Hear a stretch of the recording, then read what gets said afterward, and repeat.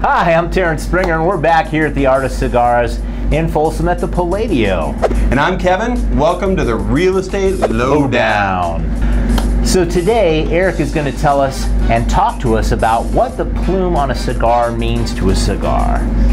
Erik? All right, thanks guys. Well, plume is actually something that cigar smokers get really excited about. The problem is somebody who doesn't know a lot about it thinks they're dealing with mold. Okay, so if you get cigar rookies, sometimes they'll come across it and they'll be like, yeah, they want to return this. Uh, it's got mold on it. And we're like, Give it to me. no problem, we'll return it. It. Right? So with plume, I got a cigar actually that's got some plume on it. It's a little bit hard to see. See? Um, it actually looks a little bit kind of like a white dusty powder.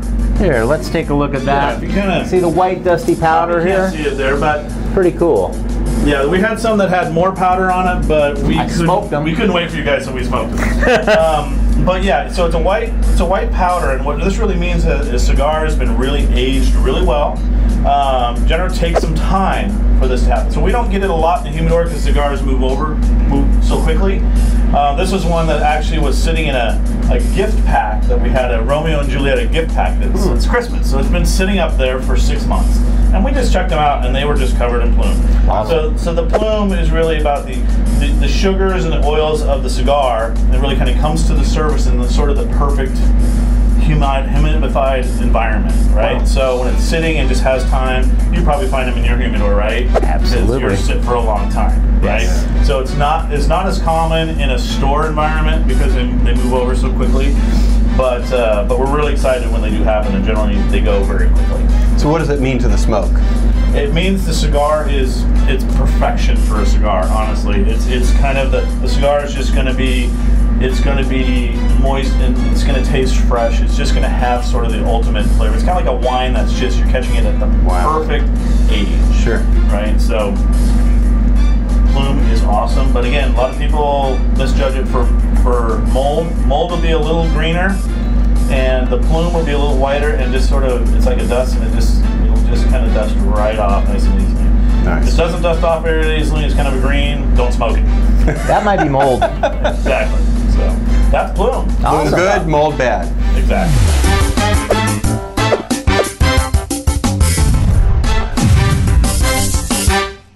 Well, that's compelling information, Erik. Thanks for sharing it with us. Well, it's time to sit back and it's chill time. So, Terence, the statistics for the time on the market is looking pretty good these days, but it's really all about how well the seller is showing the house. So, in your opinion, what are the top three things a seller really needs to do before they list their home? Well, you know what they say 47.5% of all statistics are made up on the spot. Just kidding. I know that's what I just did. Okay, well, my top three recommendations for sellers are as follows. When you're going to list your house, first thing you should do is declutter. That means take away all of the things that are in your house that you don't absolutely need. That's first and foremost. Go to the Se- dump. Absolutely.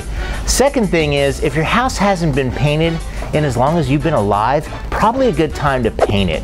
So sprucing up the outside and the inside, making sure that it matches will help you greatly in the sale of your house. And lastly, and the most important thing is curb appeal, because the first thing that people see when they drive up to your house is your curb appeal. If it, you have an overgrown jungle, no one is going to want to talk to you. So, Kevin, what are your three recommendations for buyers right now? Well, you may not need a degree in the study of real estate to get this answer. What?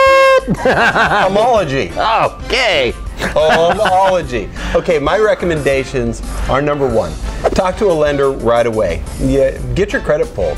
Uh, 75% plus of credit reports are wrong, and so a lot of people want to wait until they're really ready to buy, but then the problem is it's kind of too late. Yeah. Uh, because if there's a problem on your credit report, it usually takes about 90 days to fix it. And so if you pulled it six months ahead, you're cool. Second thing is don't transfer your money.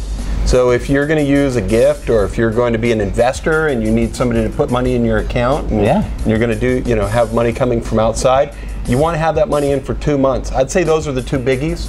Cash deposits can also be a toughie. So we want to not have a lot of cash deposits into the account. So what would you say your third is though? Because those were the top two. I need three. And the third one is talk to a great realtor.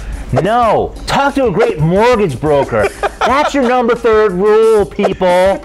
well, that's our top three recommendations for sellers and buyers. I'm Terence Springer with RE/Max Gold. I want to thank the guys here at Art of Cigars here in the Palladio in Folsom for letting us hang out. Come on down, support them. They're a local business. They do great. They are very knowledgeable and know about cigars. That's for sure. Hey, I'm Kevin Fritz with Iron Point Mortgage. Stop by the next time you're here for the real estate Lowdown. So, Terence, the, the statistics 47.5.